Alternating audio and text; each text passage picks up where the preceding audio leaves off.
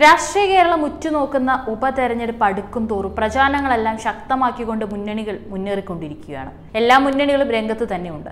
അഭിമാന പോരാട്ടത്തിലൂടെ തങ്ങളുടെ കോട്ട നിലനിർത്താൻ കോൺഗ്രസ് ശ്രമിക്കുമ്പോൾ ചരിത്രം തിരുത്തി എഴുതുവാനാണ് ഇടതുപക്ഷം ശ്രമിക്കുന്നത്. അതിന് കരുത്തനായ സ്ഥാനാർത്ഥിയെ നിർത്തുകയും ചെയ്തിട്ടുണ്ട്. തങ്ങളുടെ ഉറച്ച കോട്ടയായതുകൊണ്ട് തന്നെ മണ്ഡലം കൈവിട്ടു പോകില്ല എന്ന ആത്മവിശ്വാസത്തിലാണ് കോൺഗ്രസ്. പക്ഷെ അവർക്കറിയില്ലല്ലോ ചരിത്രം അവിടെ തിരുത്തപ്പെടാൻ പോവുകയാണ് എന്നുള്ളത്. അതുകൊണ്ട് തന്നെ തൃക്കാക്കരയിൽ മുൻകണക്കുകൾ നോക്കേണ്ടെന്നും ഇടതുമുന്നണിയുടേത് മികച്ച സ്ഥാനാർത്ഥിയാണെന്നും കോടിയേരി ബാലകൃഷ്ണൻ പറഞ്ഞുകൊണ്ടാണ് ഇപ്പോൾ രംഗത്ത് വന്നിട്ടുള്ളത്. വികസനം വേണമെന്ന് പറയുന്നവരും വേണ്ടെന്ന് പറയുന്നവരും തമ്മിലാണ് തൃക്കാക്കരയിൽ മത്സരം. ഒത്തുപിടിച്ചാൽ തൃക്കാക്കര പോരുമെന്ന മുഖ്യമന്ത്രിയുടെ വിലയിരുത്തലിനോട് ചേർന്നാണ് സി പി എം സംസ്ഥാന സെക്രട്ടറിയുടെ ഒരു പ്രതികരണം. വട്ടിയൂർക്കാവിലും കോന്നിയിലും എങ്ങനെയായിരുന്നുവെന്ന് ഓർത്താൽ മതി. ഒന്നിച്ചിറങ്ങി വോട്ട് അഭ്യർത്ഥിച്ച് മുന്നോട്ട് പോയാൽ വിജയം ഉറപ്പാണെന്നും കോടിയേരി ചൂണ്ടിക്കാട്ടി.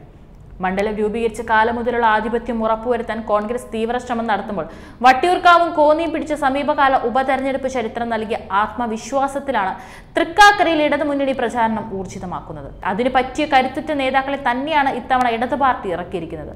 പാർട്ടി ചിഹ്നത്തിൽ ജോ ജോസഫ് വോട്ട് തേടുമ്പോൾ കഴിഞ്ഞ തവണ സംഭവിച്ച പിഴവുകൾ ആവർത്തിക്കാതിരിക്കാൻ പഴുതടച്ച പ്രവർത്തനങ്ങളുമായി മുതിർന്ന നേതാക്കളെല്ലാം മണ്ഡലത്തിലുണ്ട്. പി രാജീവിന്റെ നയരൂപീകരണ മികവും എം സ്വരാജിന്റെ പ്രായോഗികതയും ചേരുമ്പോൾ തൃക്കാക്കരയിൽ മികച്ച ഫലം ലഭിക്കുമെന്ന വിശ്വാസത്തിലാണ് ഇടതനുഭവികൾ. ഇവർക്കൊപ്പം മുൻ മന്ത്രിയും ഇടതുമുന്നണി കൺവീനറുമായി ഇ പി ജയരാജനും ചേർന്നാണ് പ്രവർത്തനങ്ങൾ ഏകോപിപ്പിക്കുന്നത്. തെരഞ്ഞെടുപ്പ് രംഗത്തും സംഘടനാ തലത്തിലും ഇതിനോടകം പ്രാഗൽഭ്യം തെളിയിച്ച മൂന്ന് പേരാണ് ജില്ലയിൽ ക്യാമ്പ് ചെയ്ത് പ്രചാരണം നയിക്കുന്നത്. ബൂത്ത് തലം മുതൽ പാർട്ടിയെയും മുന്നണിയെയും സജീവമാക്കി തെരഞ്ഞെടുപ്പിനെ നേരിടാനാണ് സി പി എം തയ്യാറെടുക്കുന്നത്. മണ്ഡലത്തിലെ ലോക്കൽ കമ്മിറ്റികൾ ജില്ലയിൽ നിന്നുള്ള പാർട്ടി സംസ്ഥാന കമ്മിറ്റി അംഗങ്ങളുടെ ചുമതലയിലാണ് പ്രവർത്തിക്കുക. വോട്ട് ഉറപ്പിക്കാനും വോട്ട് ഉയർത്താനുമുള്ള പ്രവർത്തനങ്ങൾ ഇവരുടെ നേതൃത്വത്തിൽ നടപ്പിലാക്കും. അതുകൊണ്ട് തന്നെ വളരെ ആത്മവിശ്വാസത്തിലാണ് അണികളെല്ലാം. കൂടാതെ വികസനത്തിന് വഴിയിടുന്ന കേരൽ പദ്ധതി സർക്കാർ നടപ്പാക്കും. കല്ലിടാതെയും പദ്ധതി നടപ്പിലാക്കാനാകും.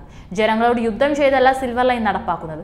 ഭൂമി നഷ്ടപ്പെടുന്നവർക്കൊപ്പം സർക്കാർ ഉണ്ടാകും നഷ്ടപരിഹാര തുക വർദ്ധിപ്പിക്കേണ്ടതുണ്ടെങ്കിൽ അത് ചർച്ച ചെയ്ത് നടപ്പാക്കും. അസാധ്യമായത് സാധ്യമാക്കുന്ന സർക്കാരാണ് ഇപ്പോഴുള്ളതെന്നും ഗെയിൽ പദ്ധതി നടപ്പിലാക്കിയത് ഇതിന് തെളിവാണെന്നും അദ്ദേഹം പറഞ്ഞു.